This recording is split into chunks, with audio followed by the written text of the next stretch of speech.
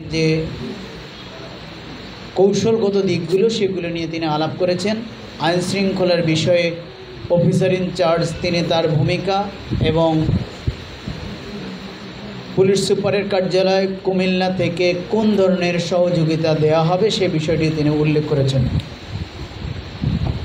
আমার একটি প্রশ্ন হচ্ছে প্রতিদ্বন্দ্বী প্রার্থীদের কাছে। এখানে যারা আপনারা উপস্থিত হয়েছেন, আপনাদের মধ্যে আপনাদের বক্তব্য থেকে যেটি আমরা শুনতে পেলাম তারপরে প্রশ্ন হচ্ছে যে, আপনারা কি অবাধ সুষ্ঠু নির্বাচন চান? সবাই?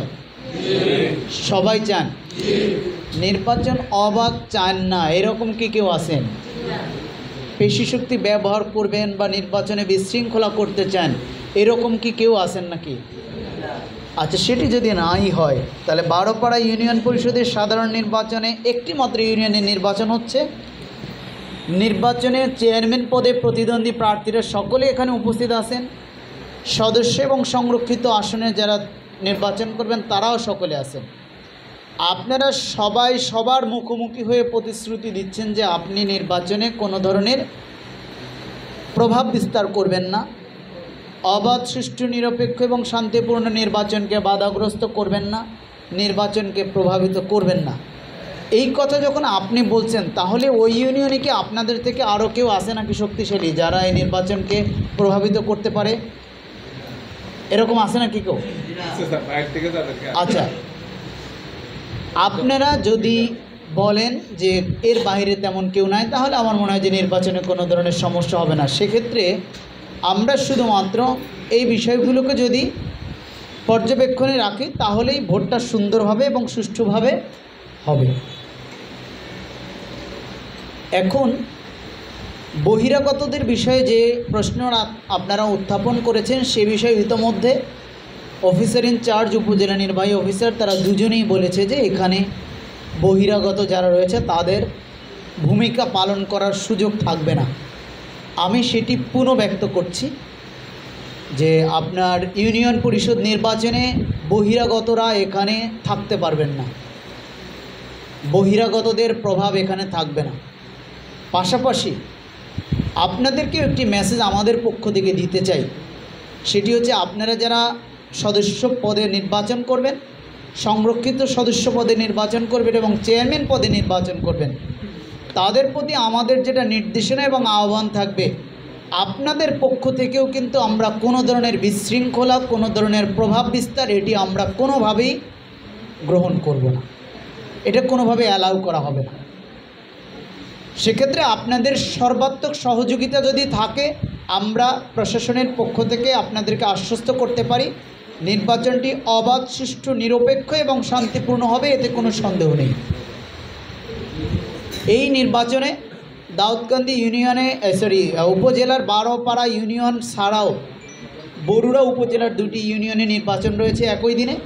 লালমাই উপজেলা পরিষদের সাধারণ নির্বাচন রয়েছে।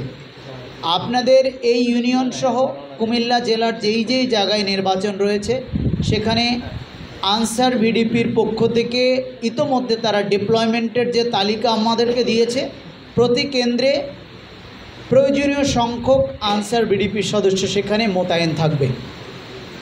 পুলিশের পক্ষ থেকে যেই তথ্য আমাদেরকে দিয়েছে, পুলিশের স্ট্রাইকিং ফোর্স থাকবে, পুলিশের টহল টিম সেখানে থাকবে, প্রতি কেন্দ্রে পুলিশ মোতায়েন করা থাকবে। র্যাবের টহল টিম থাকবে এবং বিজিবির টিম এরা মুভমেন্ট করবে।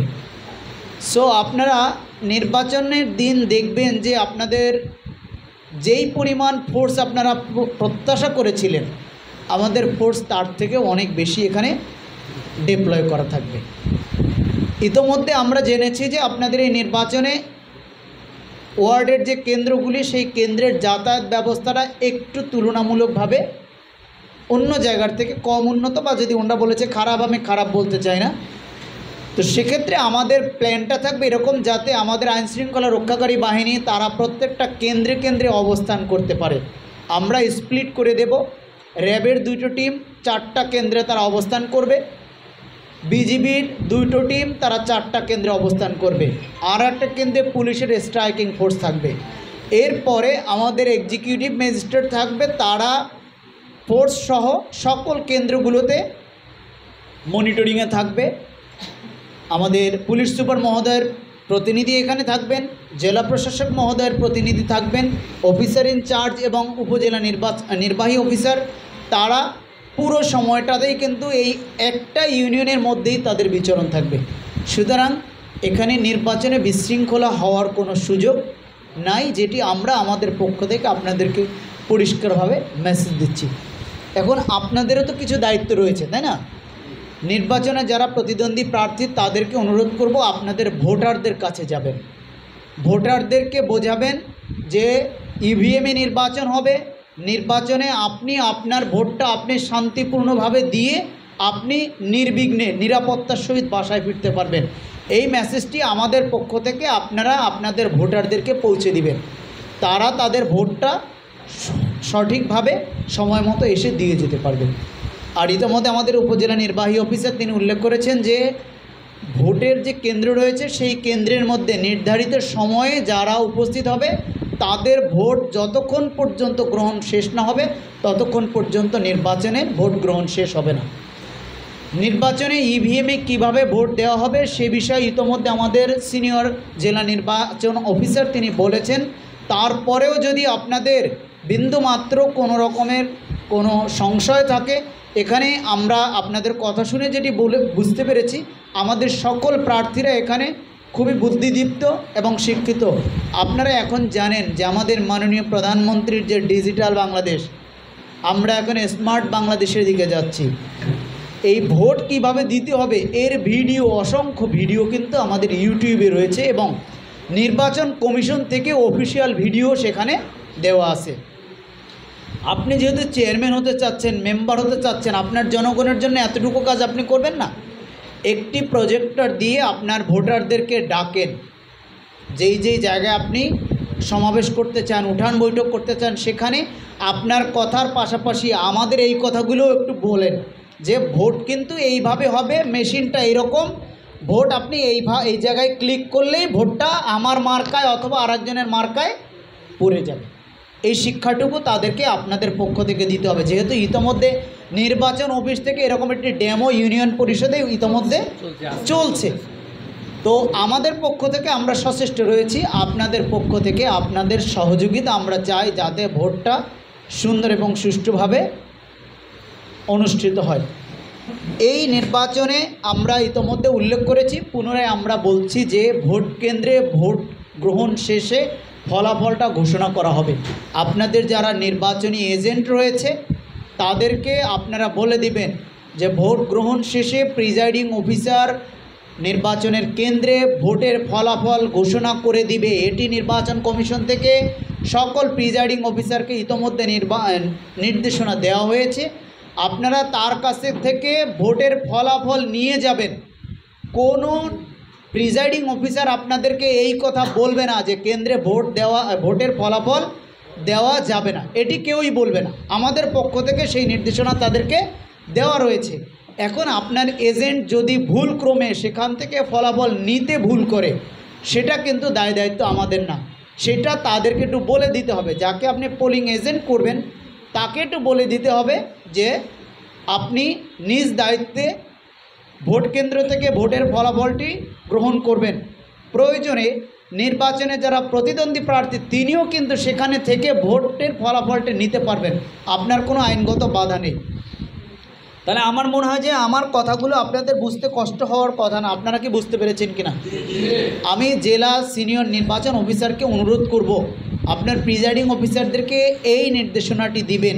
আমাদের নির্বাচন সুষ্ঠু করার স্বার্থে কোনো পোলিং এজেন্ট যদি বাহিরে যায়, নির্বাচন কেন্দ্রের বাইরে গেলে আবশ্যিকভাবে প্রিজাইডিং অফিসারকে রিপোর্ট করে যাবে তিনি কি কারণে বাইরে যাচ্ছেন। অর্থাৎ তিনি তার নিজস্ব প্রয়োজনে বাহিরে যদি যান আর বাহিরে গিয়ে যদি বলেন যে আমাকে বের করে দেওয়া হয়েছে, এটি কিন্তু হবে না। আপনার প্রিজাইডিং অফিসারের কাছে একটা রিপোর্টিং থাকবে তিনি কোন কারণে বাইরে যাচ্ছেন।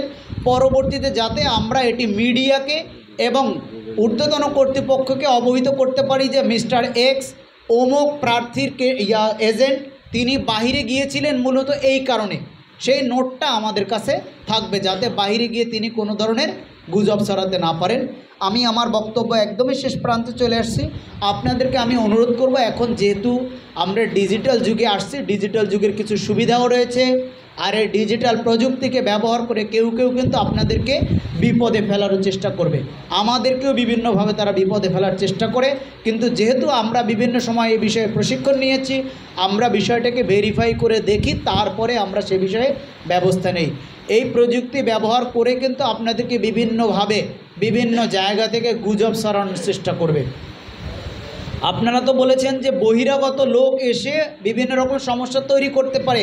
আমরা শুধু বহিরাগতকেই থ্রেট মনে করছি না, আমরা এর পাশাপাশি, কারণ যেহেতু এখন অবাধ প্রযুক্তির যুগ যে কোনো জায়গা থেকেই গুজব সরাতে পারে। সেক্ষেত্রে আপনাদেরকে আমরা অনুরোধ করব যে গুজব, সেটা যদি আপনার দৃষ্টিতে আসে, আপনি দয়া করে সেটাকে যাচাই করবেন। আপনি যাচাই করতে না পারলে যিনি প্রযুক্তি জ্ঞান সম্পন্ন তার কাছে যাচাই করতে দিবেন। সেটিও যদি আপনার কাছে পরিচিত কেউ না থাকে, দয়া করে সেই গুজবের বিষয়টা তাৎক্ষণিকভাবে উপজেলা নির্বাহী অফিসার অফিসার ইনচার্জ, জেলা প্রশাসক, পুলিশ সুপার, উপজেলা নির্বাচন অফিসার, জেলা নির্বাচন অফিসার সকলের নাম্বারে কিন্তু আপনাদের কাছে থাকবে। আপনারা দয়া করে সেটি জানিয়ে দিবেন। এগুলো যাচাই